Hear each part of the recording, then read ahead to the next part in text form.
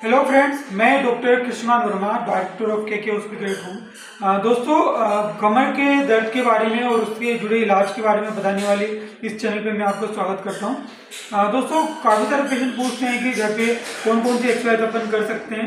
तो आज मैं आपको बताने वाला हूँ कि घर पे कौन कौन सी ऐसी एक्सरसाइजेज होती है जो आप बड़े आराम से कर सकते हो और न केवल नॉर्मल बैक पेन बल्कि P I V D mechanical lumbago और बहुत सारी कमर की जो कंडीशंस है, जो प्रॉब्लम्स है, उसको आप इसमें डील कर सकते हो।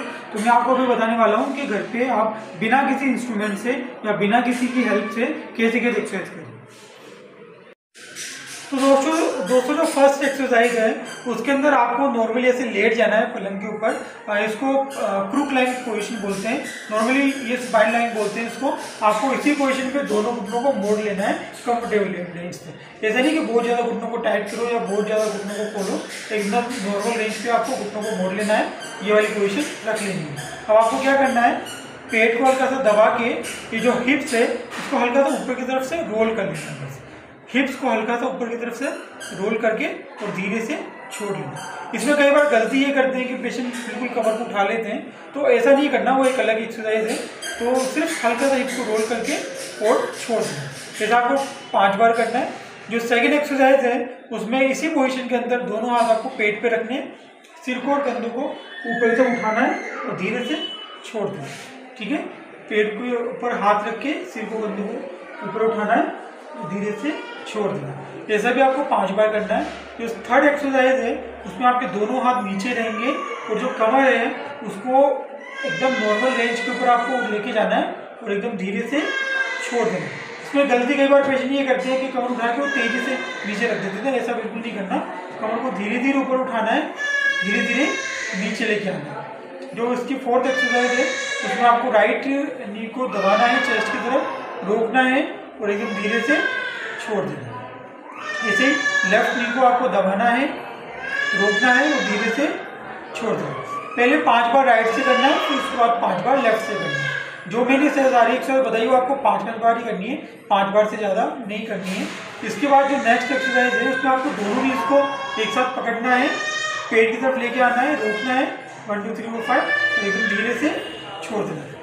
हो सकता है इन एक्सरसाइज को करने के बाद में हल्का सा आपके पीठ पे खींचा हुआ है तो ये नॉर्मल ऐसा ही होता है। तो नेक्स्ट एक्सरसाइज है, उसमें आपको उल्टा होना है। आपको इस तरीके से क्वार्टर पोज पोज जिसको बोलते हैं कि घोड़ा पोज ये पोज ले लेना है। जो शोल्डर का और हाथ का एंगल है, वो एकदम बराबर होना चाहिए।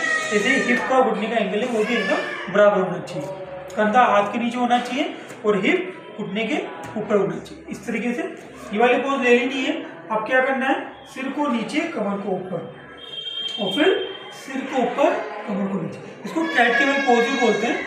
सिर नीचे, कमर ऊपर, और उसी तरह सिर ऊपर, कमर नीचे। इसको करने के बाद में जो नेक्स्ट एक्सरसाइज है, उसमें आपको बिल्कुल उल्टा ऐसे लेट जाना है। दोनों हाथ यूँ रखने हैं। और कमर को और हिप्स को टाइट करना है होल्ड करना है पाँच सेकेंड। और फिर धीरे से छोड़ देना कमर को और हिप को एक साथ टाइट करना है होल्ड करना है और धीरे से छोड़ देना तो दोस्तों, इस तरीके से कमर की सारी एक्सरसाइजेज होती हैं। ये मैंने नॉर्मल एक्सरसाइज बताई है, जो कभी भी कोई भी कर सकता है। इसमें कोई भी ऐसा नहीं होता है कि डिस्क निकली हुई है या पी है या लिस्टेसिस है।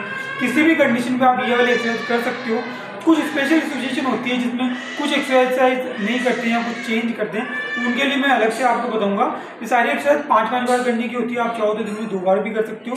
लेकिन इनको करने के बाद में भी आपको लगे कि कमर का दर्द छः से सात दिन बाद भी नहीं जा रहा एक्सरसाइज करने के बाद में कोई आराम नहीं आ रहा। तो आपको डेफिनेटली फिजियोथेरेपी से कंसल्ट करना चाहिए। वीडियो में और भी बहुत सारी कमर की मैंने प्रॉब्लम बता रखी है। डिस्क्रिप्शन में उसके लिंक आप ज़रूर देखिएगा। अगर वीडियो से रिलेटेड कोई भी आपको प्रॉब्लम आए या कोई कन्फ्यूज़न हो या क्वेश्चन हो तो आप डिस्क्रिप्शन में मेरे नंबर है, वहाँ पे व्हाट्सअप करके कुछ भी पूछ सकते हो। मिलते हैं अगले